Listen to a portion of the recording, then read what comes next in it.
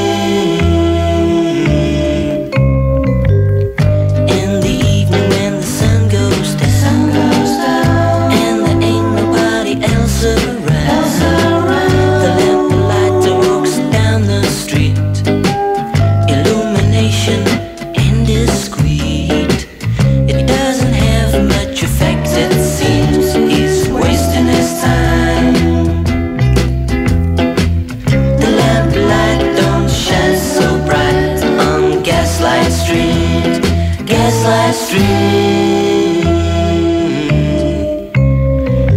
Every night at nine, there's children playing around the street, trying to dodge their